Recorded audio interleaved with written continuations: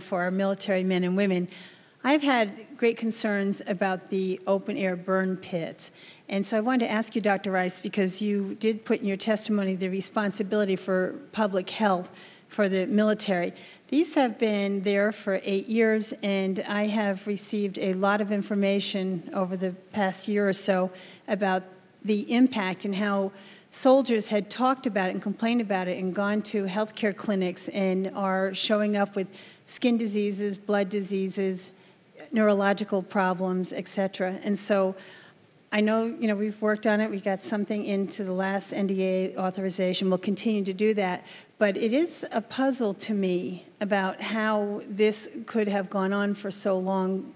And I would just ask you if you could tell me, has this been something that has been an, an issue for all of you? And has it been discussed? And are you keeping the records that you need for these men and women when they return from service? And for the next years of their lives so we can determine if we've had any problems with them because of their exposure. Uh, thank you, ma'am, for that, uh, that question. Uh, the uh, environmental impact uh, of burn pits and its impact on our servicemen and women uh, has been a source of concern. I, I believe, let me ask General Schoomaker, I think the public health, your public health command has, has taken a keen interest in that problem uh, and has been tracking uh, what's happened. Is that right? Yeah, that's right. Uh, my, we have a public health command, previously know, uh, known as the Center for Health Promotion and Preventive Medicine, and the Veterinary Command now have been combined in Army Medicine into a single public health command. Uh, Brigadier General uh, Tim Adams commands that and has got subject matter experts that have been tracking all of the topics that, that you've described here, ma'am, and, and we can take that question for the record and give you a more detailed accounting of, of, the, of the burn pits. Well, I know there's the acknowledgement now that this could be playing a factor in, in the health problems that some of our servicemen and women are experiencing. But my concern here is, is there an integrated approach and and are we moving fast enough to find ways to substitute some of the, the products that are being burned in the pits?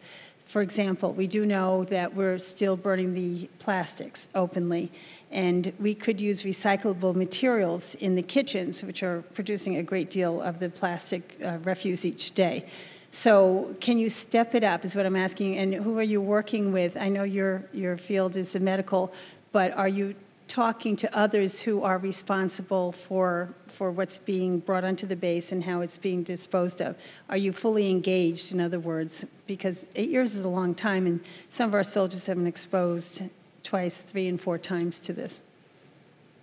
Well, well ma'am, certainly there's a good linkage between public health monitoring uh, and all the services and the operational uh, commanders. Um, specifics about the, the, the, items that you just talked about, I can't speak with um, any real um, knowledge about, but, but again, I'm, I'm more than happy to take that question to the record and give you a much more detailed accounting of what we've done to coordinate with the in-theater um, uh, operators. And I thank you, General, and I, I'm not trying to trap you. I'm just trying to nudge everybody to get this taken care of as quickly as possible. Thank you so much. I yield back.